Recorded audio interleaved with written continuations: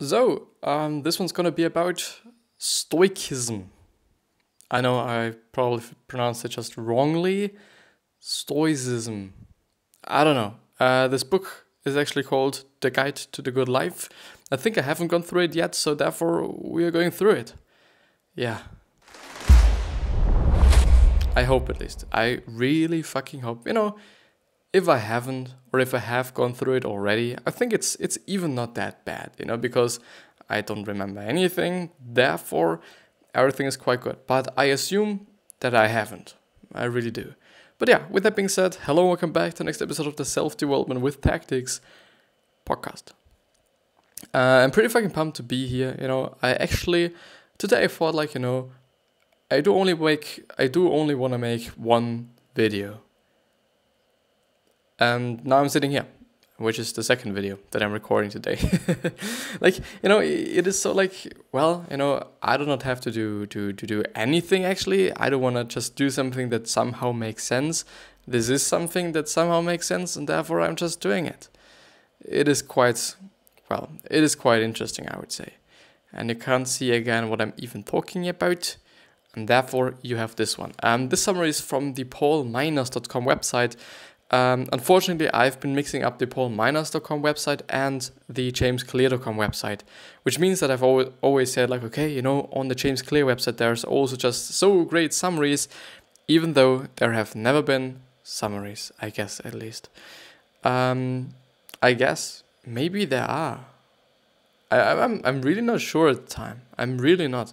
But yeah, we're going through a guide to the good life from this man here. I don't know uh, from William William uh, Irvin Irvin Irvine whatever. You know this is by him.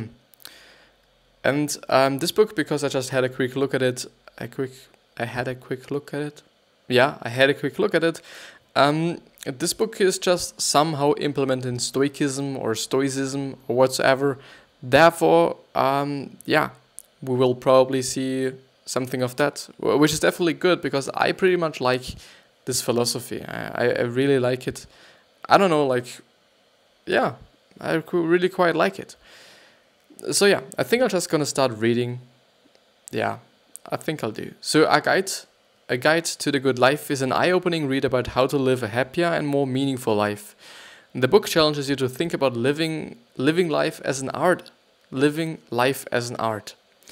This just somehow reminds me of Godin because he always talks about people who do something, like me, who just uh, are creating something as artists, and or that you should maybe also consider yourself an artist and think about that a little bit more as an artist would maybe. Um, the thing is, well, yeah, the thing is, yeah, I should really somehow consider myself more as an artist. I think it just really, you really just think differently about what you're doing uh, not in terms of you know the management aspect but just really in terms of what you're doing at this certain moment. Like i'm recording a video right now. This is somehow my art if you want to consider that or if i want to consider that actually. Um, still i can somehow treat it like my art you know and just actually get my personality more into it and just just treat it like i always like i also treat graphic design or when I'm drawing something. It's just really, of course, you know, there's just going to be some personality of mine uh, in this certain thing that I'm producing. And I, I totally think in this video that you can also see my personality to some degree, at least, you know, besides the fact that I'm staring in the video or that I am in the video. Uh, but yeah, I think you also can totally feel when uh, when when somebody else just edited a video or when somebody else um, well, yeah, when the video is from somebody but not me, for example. So yeah. Um, so the art of living is a skill to be practiced, rather than misliving and failing to acquire the happiness you want. William Irvine, Irvine has curated the perfect guide to the good life that is well worth a read and therefore we are reading the summary.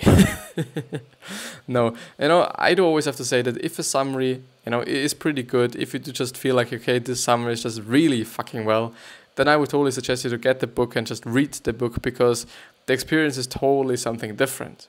You know something that I have seen um, when I was reading How to Win Friends and Influence People.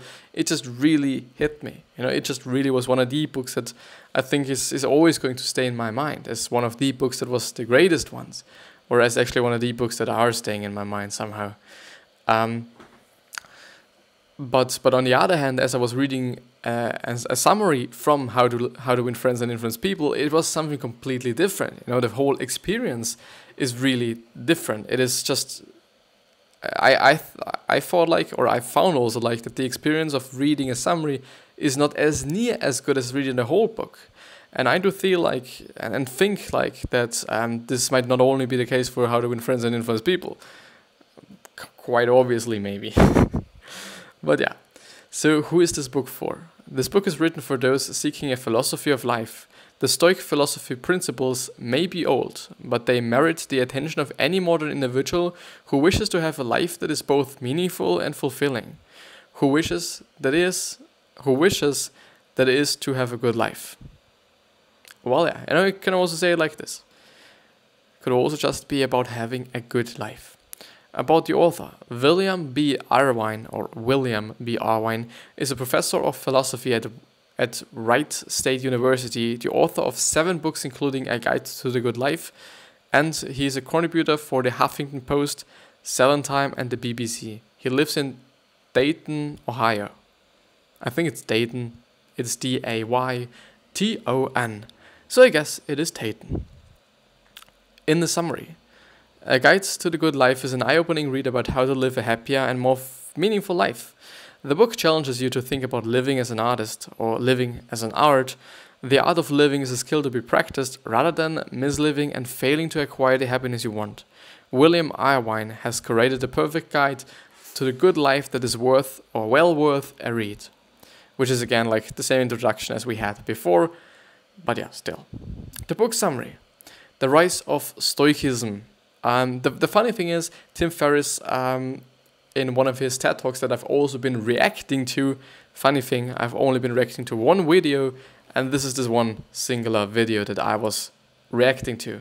It was uh, one of Tim Ferriss' uh, TED Talks because he has multiple ones, even though I, I was saying in the video, like, you know, I'm reacting to the uh, Tim Ferriss TED Talk, you know, even though I think there are two or three or maybe even more, but I think he totally deserves it. Like, he's an incredible person at my point of view at least.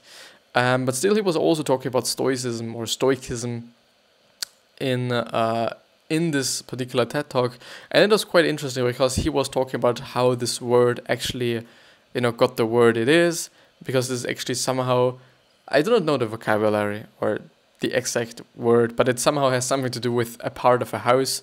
It might be just you know the front yard of a house, just you know a, another word for that but I don't know. I don't remember, unfortunately. Um, the thing is, yeah, uh, it has something to do with houses somehow. And he was also talking about it, and also about a guy that um, actually is pretty well into Stoicism or Stoicism. Um, well, yeah. So the rise of Stoicism or Stoicism. Although Irvine is advocating is advocating Stoicism, it isn't the only option available for those seeking a philosophy in life. Or Irvine highly suggests that we all find a philosophy to follow in our daily lives. Uh, I totally believe that they're just more than Stoicism. Uh, I still believe that Stoicism, I, I'm gonna say Stoicism. I'm gonna say Stoicism. I guess this is right. Probably it is the other one, but I don't give a fuck. So um, I totally think that there's something else than Stoicism, but I believe that Stoicism is actually one of the I know oldest ones or the most popular ones as well. Um, therefore, just you know, there might be a lot of resources on Stoicism, which just makes it way easier to um, well implement it into your life because you just have more information and just can just see what other people are doing in this space rather than just maybe having your own philosophy where you're the only one and therefore there's no resources um, besides the one you provide. Um, but yeah, I think you get the point that I'm willing to make. Um, what is Stoicism in a nutshell? The goal of Stoicism is freedom from passion, or pathos in ancient Greek, meaning anguish or suffering, through the pursuit of re- uh, for the pursuit of reason and apathy, or uh, apatheia in ancient Greek. Greek, sorry. meaning being objective, unemotional, and having clear judgment. It teaches indifference towards external events, as in nothing external could be either good or evil, and e- equanimity in life's highs and lows. For the Stoics, becoming a clear, unbiased, and self disciplined thinker allows one to understand the natural universal, re- universal reason in all things, or logos in ancient Greek. Well known Stoics, Stoics include the Greek founder of the philosophy Zeno or Zeno, Zeno, Zeno, Zeno, whatever, who lived from 333 to 261 BC, and Ep Epi, Epictetus. I always just have problems with pronouncing his name, obviously. Um, Epictetus or Epictetus, um, who has actually also written the book, let me remember, just a bunch of philosophy books, and they all are pretty great, and you can all find them on the um, samuelthomasdavis.com website. Um, I would like to say that I'm going to link that down in the description, but I know just myself, and I, I wouldn't, I guess. Um, but I'm totally going to just link this certain book summary into the uh, description that I've also not done with the other video that I've recorded today. The other video from today is actually about um, health and losing weight and gaining weight and building muscle and all these good things. Um, and quite uh, quite a big part of it is about myths because I'm going through the uh, bigger, leaner, and stronger thing uh, and or book from uh, uh, Matthew is his not is his last name. I do not remember his first name. I'm sorry. Um. So Epi, Epictetus or Epictetus and Roman Seneca. Um, Epictetus lived from 55 to 135 AD, which is something that I don't know what AD means. Let's see what AD means. Advertising, no thanks. I didn't want to see what advertising is. Um, well, and then Romans Seneca, Seneca or Seneca or Sinisa, whatever, from uh, 4 BC to 65 AD. 60, yeah, 65. and Musonius Rufus, uh, 20 to 30, or between 20 and 30 to 101 AD, and Marcus Aurelius, who was the um, Roman emperor um, pretty famous, I guess. You know, a lot of people should know him or do know him. Uh, who was living from 121 to 180 AD. So for Ep- Epictetus, the primary concern of his philosophy was the art of living. Just as a wood, just as wood is the medium of this of the carpenter and bronze is the medium of the sculptor, your life is the medium on which you practice the art of living. It actually is. So Marcus Aurelius, emperor of Rome, began each day by telling himself, Today I shall be meeting with uh, interference or interference, interfe- interference, uh, ingratitude, insolence, disloyalty, ill will, and selfishness, all of them due to the offender's ignorance of what is good or evil. So let's explore the philosophy, techniques, and applications of Stoicism in our modern lives. And there's actually just a lot of things that we can use from the Stoics um, to to implement in our lives. Um, as I've just went through the little book of Stoicism, which is actually one of the best videos that I've ever recorded, made, whatever. Um, so it performed the best. I don't know if it is the best, probably actually not, but I got the most clicks and I think also view time but I don't know. I don't know. You know, I'm not living in my analytics, and I think nobody should, because you would just really um, fuck yourself. You know, you would just really kind of kill yourself if you would only kind of have a look at all your analytics all fucking day long. Um, I don't know. I just think that this wouldn't be the best thing to do somehow, some sort of. Yeah. I think a lot of people would relate to that, and I, I think a lot of people would say so as well. Um, just because you know, always having a look at your analytics and always having a look at you know how your videos are doing or how the podcast or whatever you're producing is doing. Well, um, you know, I think first of all we are quite obsessed with having the data of it. You know, pretty seldom we're actually using it to to create things that might just be better than the things that we have done which might also be the exact, exact, exact same thing for me. Um, I might have a lot of data. I, I guess so. You know, I have data from Instagram, from Twitter, from Facebook, all of these platforms, and also data from YouTube uh, as well as well um, as from Anchor. You know, the podcast site that I'm using for publishing and distributing the podcast, and are actually kind of, well, not actually making. Well, it is only about the distribution of it. Um, I do also have data from them. I do just have a bunch of data. You know, the thing is, well, you know, the data is not that good especially because nobody's watching anything that I'm producing or listening to anything that I'm producing. Um, so, well, yeah, I think I'll just go on. I think I'll just go on with Stoic uh, psychological techniques. Stoic psychological techniques, uh, negative visualization. We often contemplate the bad things that could happen to us. However, no matter how hard we try, we cannot prevent all of them from happening which is definitely the case. Seneca points out that contemplating the bad things that could happen to us will lessen their impact when they happen.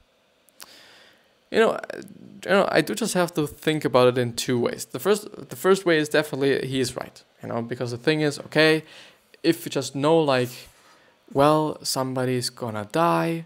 You know, something is gonna happen.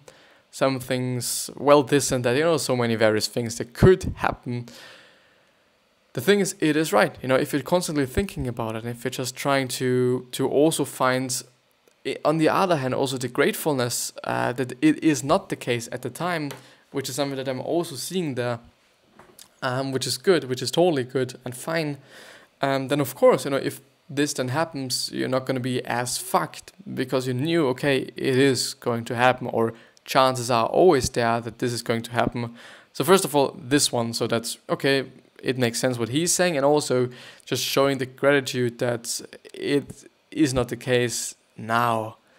Um, well, yeah.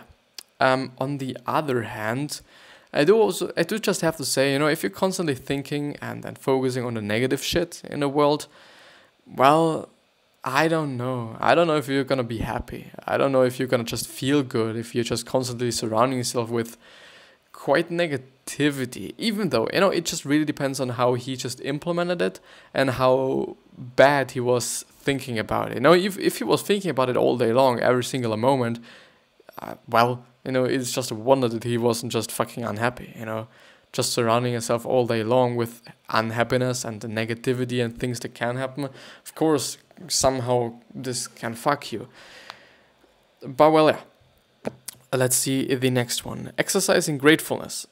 Well, well, well, well. So we are often unhappy because we are in insatiable, insatiable, and in, insatiable, unsatisfied. It is not, but I might be the same exact thing. Yeah, well, somehow it is actually the same thing. Um, we work hard to get what we want, but then when we lose interest in the object of our desire, becoming bored and forming new, grander or grander desires. The key to happiness for the Stoics is to prevent ourselves from taking the granted or the granted the things we worked so hard to get. Uh, that could include our family, our loved ones, our house, or well being, and our job. The Stoics spend time imagining they, that they have lost the things they value. This way, they exercise gratefulness and value the things they have seen more. Actually, a pretty nice thing. The funny thing is that uh, Gary Vee himself is also doing the exact same thing. He often talks about he is just thinking about losing everything, everything, uh, especially also his parents and things that are just uh, things and also just you know people that are very very important for him. He thinks about these things, you know, more about people than about things um, he thinks about it. He really does, and and I found that just I found and find that pretty amazing and then pretty insane on another hand as well. But I think it's just great. You know, we all should be just way more just grateful and happy for what we're having just because we have so much, you know, especially when you're living in a first world country um, as I've been talking about it just uh, way too often, maybe we should all be just way more satisfied with what we're having just because we have so much. We have so much other people just will never have in their fucking life. You know, I'm just sitting in my own room uh, which is clean, it's not dirty, it smells relatively good, besides my fucking farts. and, and everything is nice. I do have food, I have water, I do just can buy literally anything that I somehow need. It's not about wanting, that I need. Well, you know, there's literally nothing to complain about just from my side. Um, besides the whole you know self kind of uh, the this the, the, purpose thing and just having purpose in life you know this is something that i that i struggle with or that, that i can struggle with just because you know if you have a look at the uh, maslow's pyramid of needs then you know what i'm talking about you know because the really kind of low uh, steps of the pyramid obviously are just food and water and sex and you know various kind of things that we just need from a physical perspective as well. Um, and on the really top top edge of the um, of the uh, pyramid, you can find something like uh, satisfactory uh, or satisfaction, actually self satisfaction. Then just having purpose in life. Then just well those things. But yeah, external and internal change. So the external and the internal change? The most important question in our life, according to Epictetus, whatever, I give a fuck about it. Um, whether to concern ourselves with things external to us or things internal. While most people seek contentment, or whatever this is, let's actually see. Um, satisfaction, well, and try to avoid harm from external things uh, Epictetus believed for all benefits and harm to come from himself. That is, instead of changing the world around us, Epictetus or Epictetus advises us to seek contentment by changing ourselves and our own desires. Uh, which is like something that is pretty common, I think, in the self development and self help space that people say, like, okay, you know, it is not about the external shit, it's about how you think about things which is actually true, you know, which is really true. You know, um, if something bad is happening, nothing bad is happening unless you think about it as it being bad. If you think about it being good, is not just something that is bad, it is something that is good just because you think it is good. But because you have the worldview of it being good, you know, good things and bad things obviously are just something, uh, well, completely different for certain cultures, for certain people. Um, in the desert, having rain probably is just the best thing that can happen. You know, here in Europe or uh, where no just uh, no no desert is, having rain will fuck with a lot of people because they think like think like well it is bad weather. You know. Um, so yeah, first of all, this. Second of all, that's okay. Um, just, tell, just somehow also having perspective. Like, you know, the weather thing that I'm always bringing up is like, okay, you know, if it's bad weather, uh, rather than think like, you know, it is bad weather, uh, everything is so fucked. Uh, thinking like, well, you know, now I do just have the time to read my fucking book that I always had to read or I always wanted to read for such a long time. Well, there's there's always two sides, always. Uh, but yeah, um, this is gonna be the end of the video. I guess. I don't know. You know, I do not want to stretch myself uh, kind of unnecessarily making the the video and or the whole kind of feeling of me making the video and uh, you watching the video bad by just forcing myself to do something. Therefore, uh, yeah, this is the end of the video. I hope you the best health, wealth, happiness, and or actually wish you the health, the best health, wealth, happiness, and also success. And I also hope that you're going to remind yourself on how you're gonna be remembered. So basically, your legacy. Um, yeah, you have it in your control, but we can't serve everyone. You know, not everyone's gonna like us, not everyone's gonna love us. It is just what it is. I guess it is just the default of human beings. That's you know we don't like everyone. But yeah, um, I see you next. I see you next. I see you soon. Uh, maybe in the next video as well. Maybe I wanted to say this. Um, but until then, I wish you the best and I'll see you. Thank you.